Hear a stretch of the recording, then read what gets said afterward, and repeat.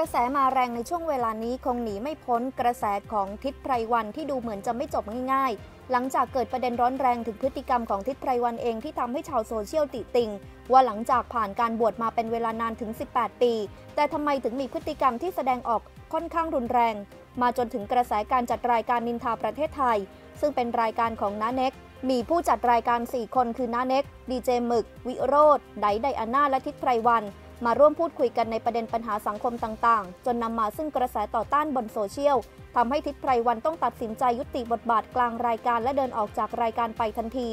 ล่าสุดพุทธอิสระอดีตเจ้าอาวาสวัดอ้อน้อยโพสต์ ระบุว่า ถามมาต่อไปทำไม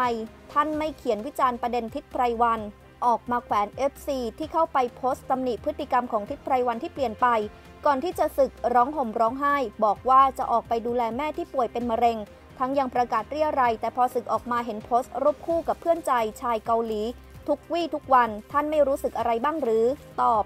จะให้ฉันไปรู้สึกอะไร มันไม่ใช่เรื่องของฉัน คุณจะมุ่งหวังอะไรกับคนที่กำลังลุ่มหลงในกาม คนบวชมาตั้งแต่เล็กไม่เคยเห็น ไม่เคยสัมผัส ความอลังการของรูปรสกลิ่นเสียงและสัมผัส และรสชาติแห่งความสุข พอศึกออกมาเจอเจอความอลังการของมายาการของกิเลสตัณหา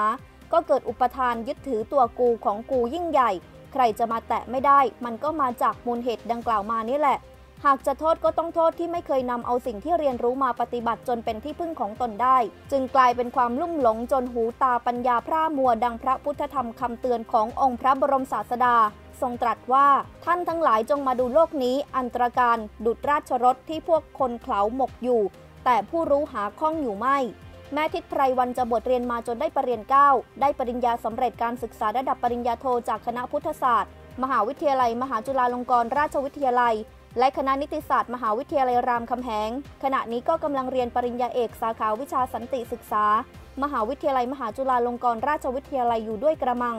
แต่ก็เรียนเพื่อสอบไม่ได้เรียนเพื่อปฏิบัติพระสัจธรรม ความรู้ที่ร่ำเรียนมา จึงไม่สามารถนำมาใช้กับชีวิตประจำวันเมื่อเกิดปัญหา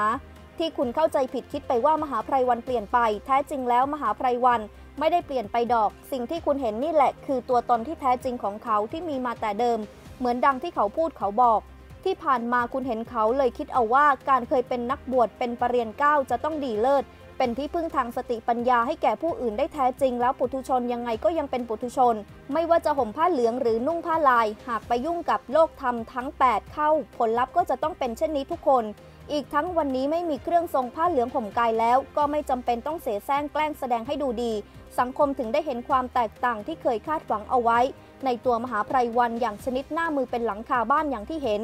อย่าคิดมาก คนผู้อาศัยโลกทำอยู่ มันก็เป็นอย่างนี้แหละ อย่าหวังอะไรกับปุถุชนมากนักเลยคุณ เดี๋ยวจะผิดหวังแล้วมันจะเป็นทุกข์